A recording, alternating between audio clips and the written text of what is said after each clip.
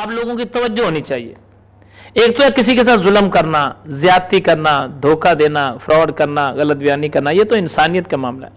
اب ہم بہت ساری جگہوں پر ظلم کر رہے ہوتے ہیں اور ہمیں احساس نہیں ہوتا کہ ہم ظلم کر رہے ہیں۔ ایک خصوصی بات کی طرف توجہ دلانا چاہوں گا تاکہ ہمارے ذہنوں میں یہ بات کلیئر ہو جائے کہ ظلم زیادتی کیا ہے۔ آج کل اس گئے گزرے دور کے اندر ایک بات بڑی عام، ہر گھر، عام گھروں میں ہو چکی ہے یہ بات کہ گھروں کے اندر پرندے پال لیتے ہیں۔ اپنے گھروں میں پرندے پال لیتے ہیں۔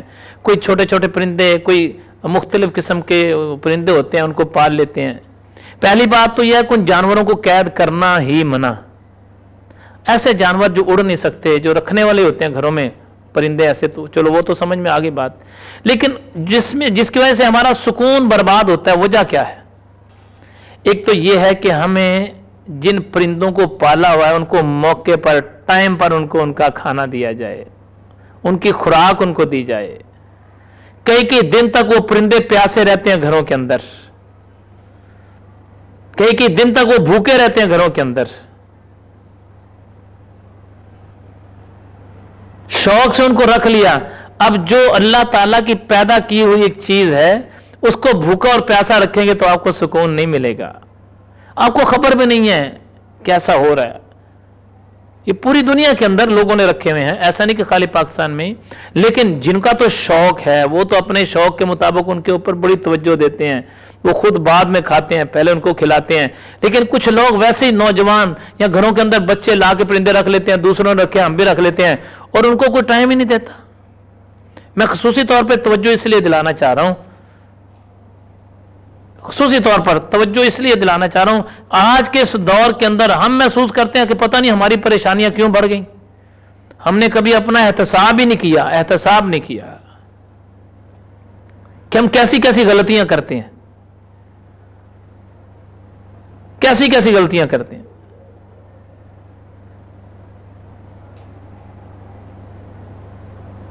جب انسان ایسی غلطیاں کرنے لگ جائے، جن کو وہ غلطیاں ہی نہ سمجھے اور ہو بہت بڑی غلطی، تو یاد رکھو، جس کو وہ گناہ ہی نہ سمجھے اور ہو بہت بڑا گناہ۔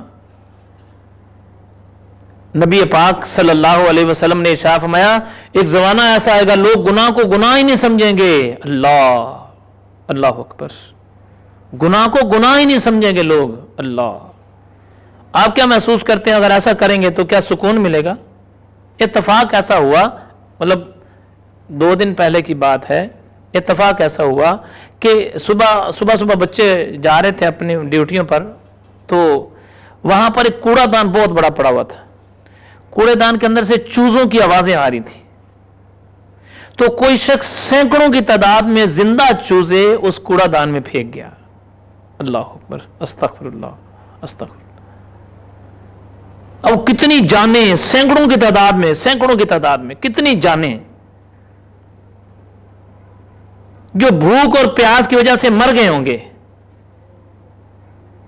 بحثیت انسان جتنے نکالے جا سکے، نکال کے لا کے ان کو جو ہو سکا خوراک دی، وہ تو چلو جو ہو سکا۔ لیکن کتنی جانیں رات بھر وہ چلی گئی ہوں گی؟ آپ کیا محسوس کرتے ہیں؟ ایسے شخص کو دنیا میں سکون ملے گا؟